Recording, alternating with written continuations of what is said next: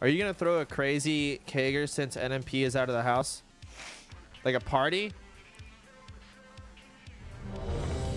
Are you saying that NMP and Malena are like my parents and they just went out of town? I should throw some giant high school party?